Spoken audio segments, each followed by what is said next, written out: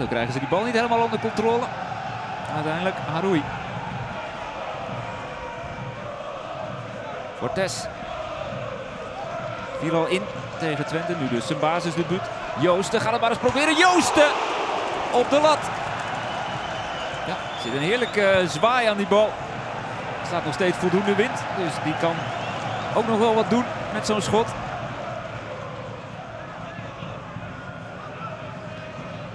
Lukt ADO niet om de bal heel lang in de ploeg te houden. Dus heeft Sparta tot nu toe bijna het alleenrecht op het balbezit.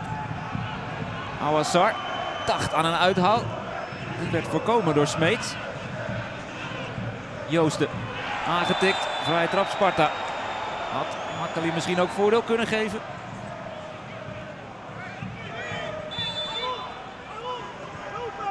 Dante Rigo.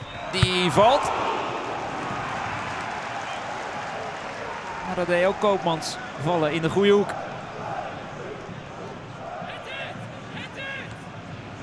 Baluta. Rigo. Met een beetje risico. Maar het pakt goed uit voor Sparta. Agge. Haroui. En dan ruimte bij Fortes. Agge.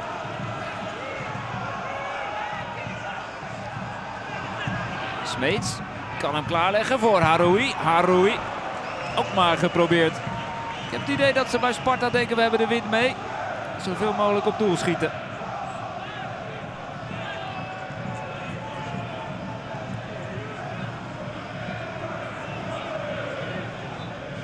Pinas. Dat is geen lekkere bal voor de bok, maar die krijgt hem nog wel bij Nezit. Vasthouden, dit moet een vrije trap voor ADO zijn.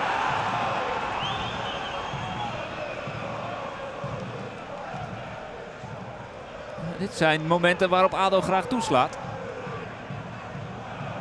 Somerville dacht daar even aan het kort nemen, maar dat is niet hoe ADO toeslaat uit dit soort ballen. Gozens. En daar valt hij binnen. Zo slaat ADO dus toe uit dit soort ballen.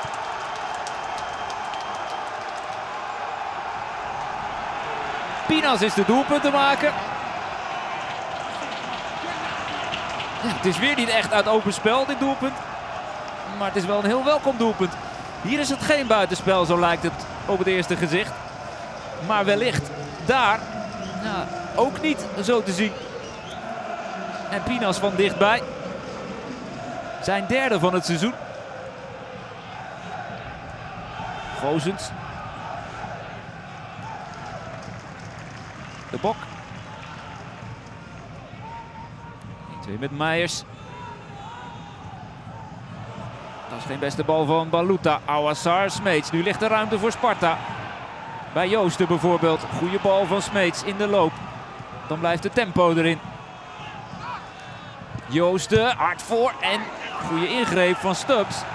Want Agge stond daar te loeren in de doelmond. Hoekschop Rigo. En binnengekopt.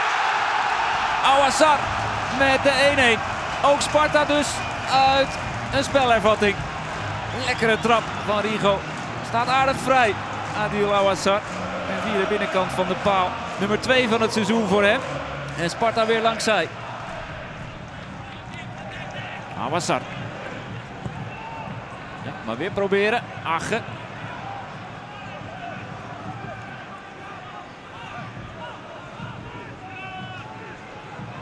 Rigo. Joosten wil er tussendoor en krijgt de vrije trap. Opgevangen door Malone. Vijfmansmuur met nog één speler aan beide zijden. Het wordt Tante Rigo op de kruising. Schitterend getrapt door Rigo.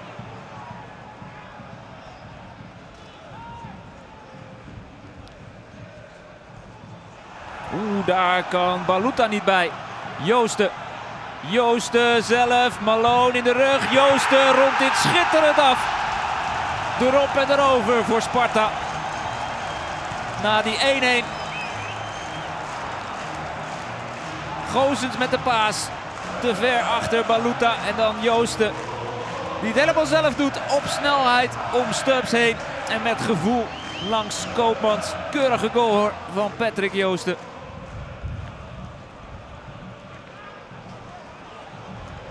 Gedragen door die wind die bal. Zo in de voeten bij Joosten die hem eh, keurig controleert. Smeets. Ja, Haroui met heel veel vrijheid. Ach, uh, oh schitterend. We hadden hem uh, 37 en een halve minuut niet gezien, Ragnar Ache.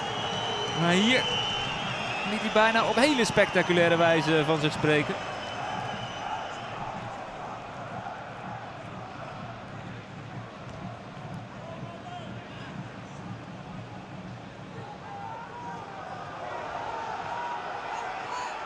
Malone. Oh, daar ligt uh, Gozens. En heeft wat gezien. Komt ook een kaart aan. Is die voor vriend. Die deelt een uh, por uit. terwijl er geen uh, bal in de buurt is. En dan mag je met geel niet mopperen. En ook de VAR. Dat is bij deze wedstrijd Laurens Gerrits. Heeft naar die tik van Vriends gekeken. En kennelijk geoordeeld dat het bij geel kan blijven. Vaaien is aan een soort circusoefening begonnen. En dan had hij zowaar nog een hoekschop uit. Die spelervattingen zijn bijna altijd gevaarlijk. Je wilde het geval dat uh, Sparta ook een keer scoorde uit een uh, hoekschop. En dat hier weer doet. Door de man die misschien wel ontsnapte aan meer dan geel. Bart Vriends. En dat is op een heel lekker moment voor Sparta de 3-1. En op een heel vervelend moment voor ADO. Dat ongetwijfeld gehoopt had met die 2-1 de rust te halen en dan uh, wat dingen om te zetten.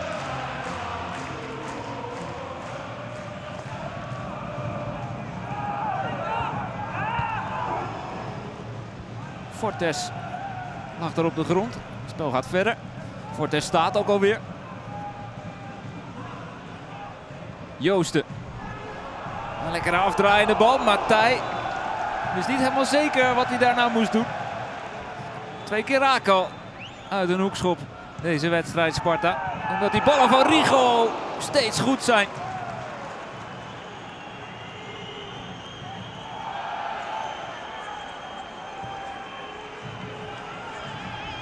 Oh, Summerville gaat er met de bal vandoor en gaat hier 3-2 maken. Omdat er van alles misgaat achterin bij Sparta. Ja, het is Faaien die niet echt oplet. Daar werd misschien Faaien nog wel het meest door in de war gebracht. Doordat zijn doelman daar ineens kwam. Immers nu als extra spits. Hier ook gezocht. Naast Bogel. Goosens. Bogel. Terug naar Goosens. Goosens en Harouche. Maar ADO begint zowaar te voetballen. Baluta. 10 minuten nog. Plus een beetje extra. Er zit nog wel wat in hoor voor ADO. Malone. Awassar. En Pirou. Ja, dat is een goede bal. En nu is er de vrije doortocht voor Haroui. Die houdt even in en uh, misschien is het dan wel heel wild. En heel hoog in de handen van die meneer.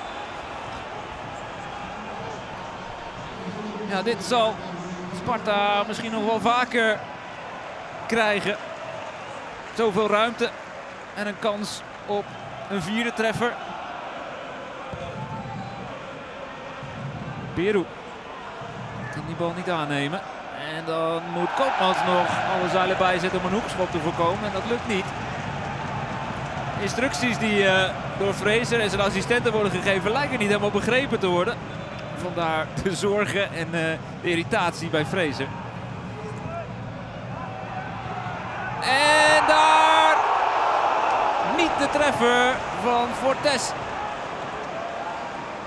Omdat die bal wonder boven wonder eindigt in de handen van Koopmans.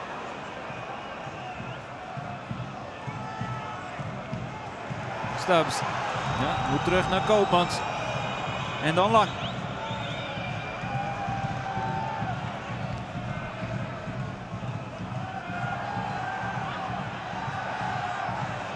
Geen vrije trap voor Bogel.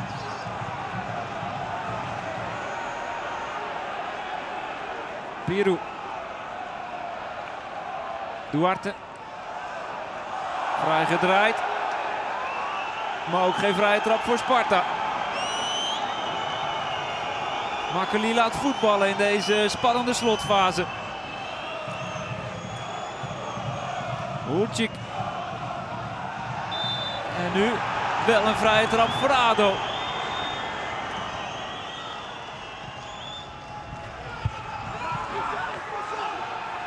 Van Gozens weggewerkt door Sparta. Maar Gozens mag nog een keer. Stubbs is mee. En nu Haroui. En dan ligt het weer open. 4 tegen 2. Haroui. Haroui gaat zelf en beslist deze wedstrijd.